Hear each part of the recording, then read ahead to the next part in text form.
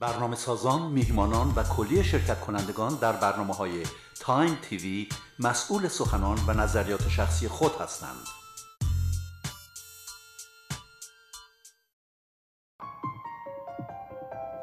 درد دل روان برنامه با دکتر جواد نفیسی هر دوشنبه ساعت هفت شب از Time TV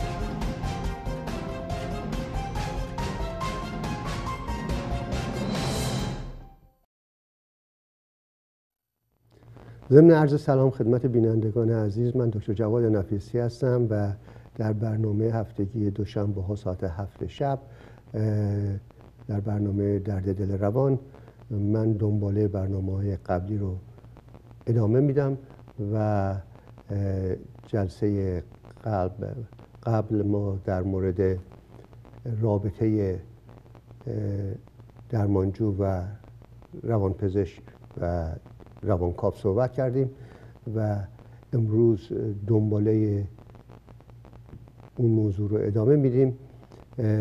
من خدمت بینندگان عزیز عرض کردم که رابطه درمانی یک عامل حیاتیه در نتیجه درمان. و اگر اون رابطه صمیمی و صادقانه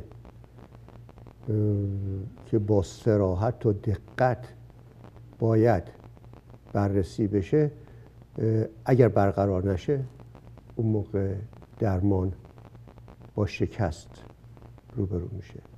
و در این رابطه مهمه که درمانجو با قاطعیت و کامیتمنت صد درصد درگیر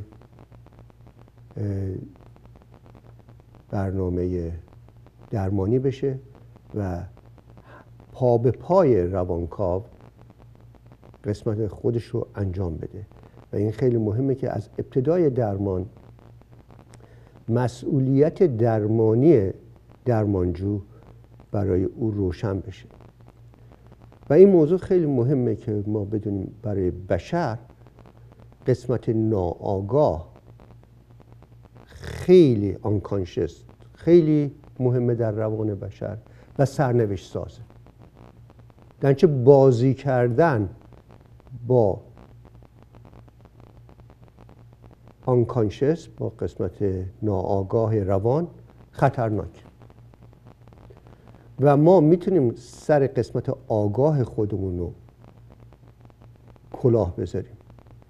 ولی به هیچ عنوان تحت هیچ شرایطی نمی‌تونیم سر قسمت ناآگاه یا آنکانشس روان و کلاه بذاریم. علتش هم خیلی واضحه. برای اینکه توی دادگاه درونی ناآگاه روان قاضی و مجرم و قوه اجراییه و قوه قضاییه همه یکی هستن. و در دست ما اونجا روست. و ما نمی‌تونیم نه بازی کنیم و منیپولیت بکنیم نه می‌تونیم روشو بپوشونیم. باید رو راست و استریت فوروارد با خودمون باشیم و خودمون رو بشناسیم و این نذاریم که خودمون از خودمون بیگانه بشیم. حالا من جلسه پیش به توجه بینندگان گرامی آوردم که اگر استراب در ابتدا وجود داشته باشه و استراب خیلی بالا باشه ما باید اول اون استراب رو بیاریم به یه سطحی که بتونیم ارزیابی رو ادامه بدیم. ولی حالا فرض کنیم که درمانجوی اومده که استرابش خیلی بالا نیست و قدرت اینو داره که در مورد اشکالاتش صحبت کنه. از همون ابتدا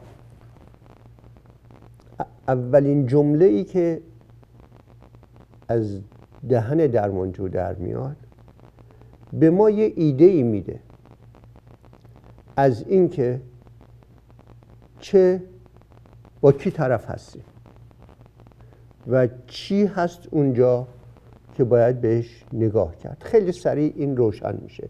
چون معمولا روانکاو اولین سوالی که می‌کنه باز انتهاست اوپن اندده و معمولا به این صورت در سوال میشه که مشکل به نظر چی می‌رسه؟ که ببینید اون طرفش کاملا بازه. هر چیزی درمانجو می‌تونه بگه. این نیست که یس بله یا نه باید بگه. این هست که هر چی دلش خواست حالا آزاده که بگه اشکال چی به نظر میاد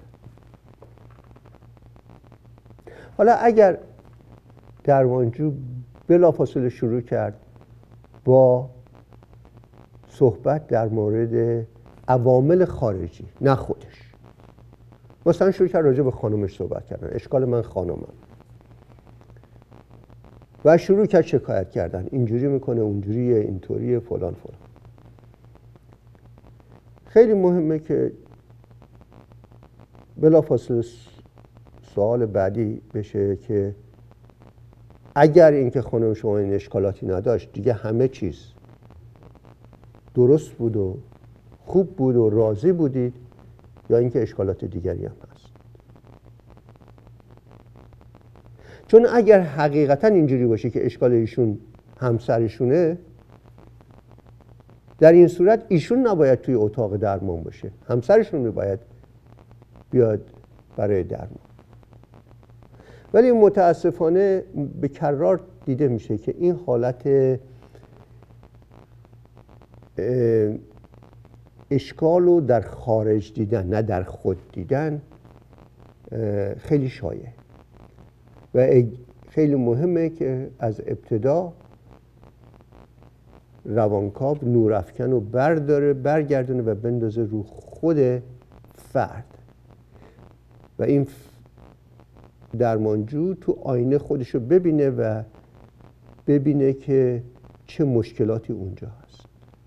معمولا درمانجوها موقعی که وارد جلسه از شروع روانکاوی از اون جلسه اول یک مقدار اشکالاتی هست که یه اون باهاشون بوده توی روابط. با همسر بوده با بچه هاش بوده با رئیسش بوده با, با دوستاش بوده و این, این نوع اشکالات مثل اینکه وارد اتاق که میشن دو تا چمدون دستشونه و اونا رو صاف پیاده می‌کنن روی روانکاو. یعنی تمام اون اشکالات رابطه ای که از بچگی وجود داشته مثلا با پدر با مادر با برادر با خواهر همه میاد توی جلسه و پیاده میشه روی روانکاو. فروید خیلی زود این مکانیزم انتقال این اشکالات رو آگاه شد ازش و اسمش رو گذاشت انتقال. مکانیسم انتقال یعنی انتقال داده میشه از کسایی که در ابتدای زندگی توی در رابطهشون با درمانجو اشکال داشتن و همون اون احساسات و عواطف و افکار از اون موقع انتقال پیدا می‌کنه و میاد گذاشته میشه روی روانکاو. و ایشون این مکانیزم انتقال این ترانسفرنس رو که جدا یکی از اکتشافات بزرگ ایشون بوده الحق. خیلی خوب بیان کردن توجیه کردن. ولی اشکالی که اونجا پیش اومد متاسفانه این که ایشون اجازه دادن که این انتقال ادامه پیدا بکنه روی درمانجو. و, و درمانجو رو روبرو نکردن با این مکانیسم انتقال. در نتیجه اجازه دادن که روانکاو بره تو کفش پدر یا مادر یا هر کس دیگه و اجازه دادن که این درمانجو مثل اینکه یک سطل رنگ داره با یه بروس با رنگی که مال اون موقع هست بیاد هر کسی که می‌خواد یه رابطه ایجاد بشه که این شامل در روانکاو میشه رنگ بکنه به اون رنگ. در نتیجه روانکاو رنگ خودش اینجا معنی نداره. خودش کی هست اصلا معنی نداره. و همش میشه اون پروژکشن یعنی که مثل یه پروژکتوری که روی صفحه یک تصویر رو میندازه که بلت اون فیلمیه که توی پروژکتوره اون احساسات رو منعکس می‌کنه. افکار رو منعکس می‌کنه روی روانکاو. متاسفانه فروید رفت پشت مریض قایم شد مریض گذاشت رو کاناپه و سعی کرد با نیروهای مقاومت روبرو نشه و از مکانیسم تدایی آزاد فری اسوسییشن استفاده کرد. اول هیپنوتیزم بود که بعد اون خواب مصنوعی که اون متاسفانه با شکست روبرو شد و ابتدا اول همه بلوور بود که خواب مصنوعی یا هیپنوتیزم رو استفاده کرد و تونست به ناخودآگاه دسترسی پیدا بکنه.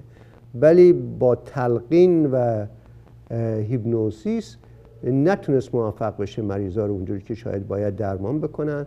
فروید اونو follow کرد دنبال کرد دید موفق نشد و بعدا رفت این تکنیک تداعی آزاد که به بیمارانش گفت دراز بکشید روی کاناپه و هر چی به ذهنتون میاد بیان کنید و به امید اینکه این تکنیک می‌تونه نیروهای مقاومت رو بزنه کنار و بالاخره ناآگاه باز بشه آنکانشس آنلاک بشه. که این وضع صورت نگرفت و درمان ها طولانی شد. درمان ها خاتم ناپذیر شد. و متاسفانه سبب شد که اجتماع یک نظر مسخره آمیزی یا یک نظر تشریفاتی به روانکاوی بده و به صلاح باور به اینکه این مکانیسم درمانی می‌تونه موثر باشه ایجاد نشد. خوشبختانه یک روانپزشک جنیس ایرانی توانست اون کاری که فروید در اون زمان نتونست انجام بده که این نیروهای مقاومت رو در هم بشکنه و با آنها سرشاخ رو بشه. ایشون توانستن این کارو بکنن و این تکنیک روانکاوی کوتاه مدت به وجود اومد در عرض این چل سال گذشته تکمیل شد و خیلی قوی تر شد و به طور استثنایی موثر و قوی تونست در مدت خیلی کوتاهی از پنج ساعت تا چل ساعت اغلب بیماری هایی رو که در طیف روان نجندی نوروزیس هستند و افسردگی ها و استراب ها و بیماری های روانتنی ماگرن هدک و بیماری های جهاز حازمه مثل رود تحریک پذیر و غیره رو حمله های حراسی و اینها رو تمام این طیف این بیماری ها رو همه رو در مدت کوتاهی درمان بکن. ولی حالا ببینیم که چطور شد که ایشون موفق شدن. اولین کاری که دکتر دبنلو موفق شد بکنه این که به جای اینکه بره پشت مریض که رو کاناپه خوابیده مثل فروید قایم بشه اومد چشم در چشم شد. با درمانجو و رو در رو شد با نیروهای مقاومت. یادتون باشه جلسه پیش خدمتتون گفتم که اغلب درمانجوهایی که برای درمان میان نمی‌خوان به خار دل روانشون دسترسی پیدا کنن. و ایشون از ابتدا این پیغوم رو هم به قسمت آگاه روان هم قسمت ناآگاه روان دادن که باید به دردناکترین احساسات شما دسترسی پیدا بکنیم اگر می‌خواهید شفای پیدا کنید. که این احساسات خیلی دردناک معمولا خیلی عمیق دفن شدن. به اضافه دردناک بودن این احساسات احساس خشم شدیدی در درون و عمق روان مدفونه که اونم غیر قابل قبوله برای قسمتی از روان و به همین جهت دفن شده در عمق روان و بعدا دردناکترین احساس بشری هم که احساس گناهه دور همه اینا رو گرفته و یک چسبندگی و فیوژنی بین این احساس خشم و احساس گناه ایجاد میشه. و در نتیجه نمی‌گذاره این احساس خشم بیاد به قسمت آگاه و اون حس و لمس بشه. حالا ببینیم که روانکاو از اون لحظه اولی که درمانجو وارد اتاق میشه چه کار می‌تونه بکنه و چه جوری می‌تونه کمک بکنه؟ من فکر می‌کنم بهترین راهی که من می‌تونم این رو روشن بکنم. اینکه شما رو بینندگان عزیز رو ببرم توی اتاق درمان و از اون لحظه اول ببینید بین من و درمانجو چه فعل و انفعالاتی صورت می‌گیره چه گفتگوهایی صحبت صورت می‌گیره و هر جمله چجوری باز میشه و معناهای بخصوصی که حقیقته ازش نمایان میشه. معمولا سوال اول من بعد از اینکه متوجه شدم که استراب درمانجو قابل تحمله و می‌تونیم راه پیمایی رو شروع کنیم اینه که اشکال به نظر چی می‌رسه؟ یک سوال باز انتها اوپن اندد و منتظر میشیم که ببینیم جواب به این سوال ساده چیه. و من الان یک مرد میان سنی رو برای شما توجیه می‌کنم که توی طیف درمانی اگر ما مریض های که خیلی صدمه کم بوده بذاریم طرف یک طرفه طرف چپ. و اونایی که خیلی صدمه دیدن و مقاومتشون خیلی زیاده طرف راست. و یه طیف اینجا درست کنیم. ایشون جزو اون کسانی هستن که خیلی صدمه دیدن و مقاومتشون خیلی خیلی بالاست. و در نتیجه درمانشون یکم طولانی تر میشه و ممکنه به 40 50 ساعت بکشه. حالا ببینیم که جواب ایشون به این سوال من که مشکل چی به نظر می‌رسه چی ایشون میفرمایند من اصلا مطمئن نیستم مشکلاتم عادی است.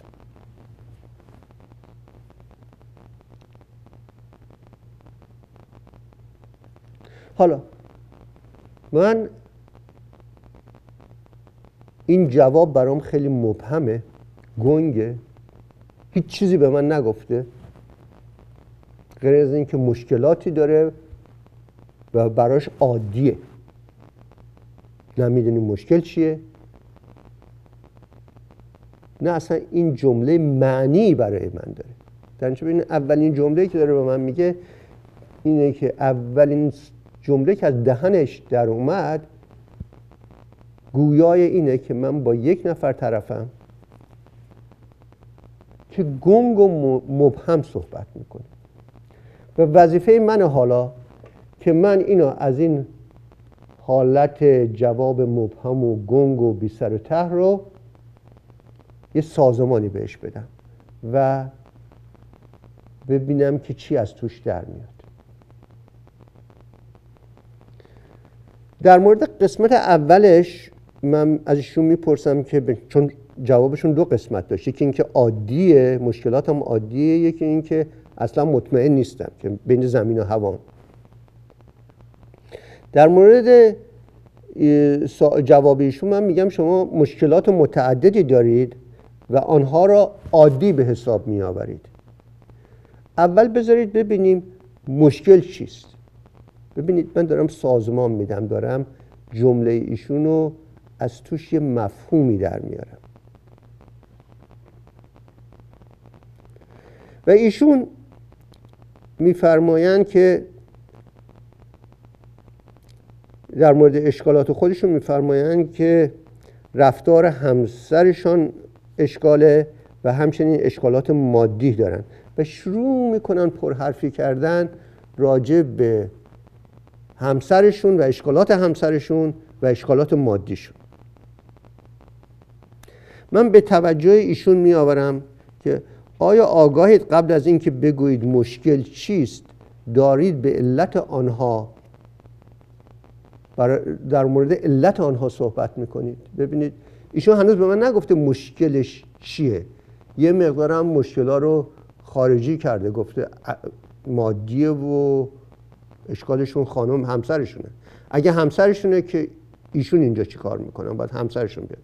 اگه مادیه که من بانک نیستم ایشون باید بره یه کاری برای اون بکنه در نتیجه ما می‌بینیم که ایشون هیچ آگاهی از حقیقت اشکالات خود ندارن. از خودشون با خودشون اجنبی و بیگانه هستن. و من به ایشون میگم اول به من بگین اشکال چیه؟ بعدا سعی کنید علت اشکالتون که خانمتون و مادیات برای من بگید. ایشون میفرمایم بله متوجه هستم. و من به توجه ایشون آوردم که سوال من این بود که مشکل چیست و شما شروع کردید راجع به علل آن توجیه کردن. ایشون میفرمایند من فقط توضیح می‌دهم که و شروع کردن همینجوری نشخار لفظی رومینیشن همینجور حرف زدن بدون اینکه محتوای حرفشون معنی به خصوصی داشته باشه. و من اینو به توجهشون میارم که شما الان و معمولا این ترجمه از انگلیسی به فارسیه. معمولا لغت انگلیسی که به کار می‌برم من میگم ببینید شما مثل یه موتورمات مثل یه دهنی که اینجوری تکون می‌کنه خاره حرف می‌زنید ولی وقتی که ما می‌خوایم ببینیم معنی حرفای شما چیه مبهم و گنگه و دقیقا نمیگه که چه خبر. ایشون ساکت میشن. و من به توجه ایشون میارم که ببینید حالا که من اینو به توجه شما آوردم دیگه اصلا حرفی ندارید بزنید. شما حالا سکوت اختیار کرده این حالا مثلا یکی دو دقیقه توی جلسه است. ولی ببینید از ابتدای جلسه من دارم رابطه رو عوض می‌کنم. و این رابطه داره خل داده میشه به طرف صداقت و صمیمیت و استریت فوروارد صحبت کردن. ایشون میفرمایند نه اصلا اینطور نیست. من می‌خوام بگویم که ممکن است عللی وجود داشته باشد. ببینید هنوز ول نمی‌کنه و می‌خواد راجع به علت صحبت کنه. ولی ما هنوز نمی‌دونیم اصلا اشکال ایشون چیه. من میگم ولی این برای سوال من جواب نشد. شما خیلی گنگ و مبهم صحبت می‌کنید و هنوز در لفافه حرف می‌زنید و تکرار مکررات می‌کنید. نشخار لفظی رومینیشن من دارم میگم این تکرار مکررات و در لفافه حرف زدن و اینا دردی از ما دوا نمی‌کنه از نظر. ایشون میفرمایند نه اینطور نیست. من با قاطعیت و تعهد مسئله دارم. ایشون حالا اولین جمله ایه که یه معنی پیدا می‌کنه اینجا. میگن که نه اینطور نیست. ولی من با قاطعیت و تعهد و کامیتمنت مسئله دارم.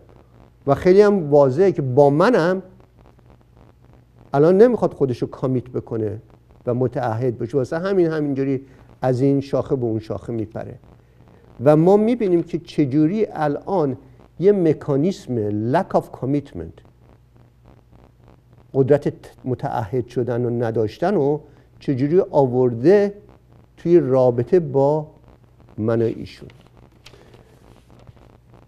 من به توجه ایشون میارم خب پس یکی از مشکلات شما مربوط به متعهد شدن است. ببینید من چجوری دارم سازمان میدم حالا. حالا یه مشکل پیدا کردیم که اینا اشکال با تعهد دارن ایشون. ایشون میفرمایند بله اینطور است ولی سالها طول کشید تا فهمیدم که چنین مشکلی دارم و شاید تا در رابطه با احساساتم مسئله دارم. ایشون حالا داره یه پیغام دیگه به من میگه. میگه سالها طول کشیده که من بفهمم که این اشکال دارم. حالا شما می‌خواین در عرض چند دقیقه به عمق این موضوع برسید؟ تا اینجا این موضوع برای درمانجو روشن شد که در جواب به سوال اول من مبهم و تمایل به وراجی و با وراجیش داشت و با اثباتاتش مسئله داره. متاسفانه وقت ما در اینجا تموم شده و دنباله این پیشرفت این جلسه اول درمانی رو من با شما هفته آینده روز دوشنبه در هفته شب دوباره صحبت می‌کنیم و در اینجا با شما خداحافظی می‌کنم و روز شب خوشی داشته باشید. خداحافظ شما. درد دل روان برنامه با دکتر جواد نفیسی هر دوشنبه ساعت هفت شب از تایم تیوی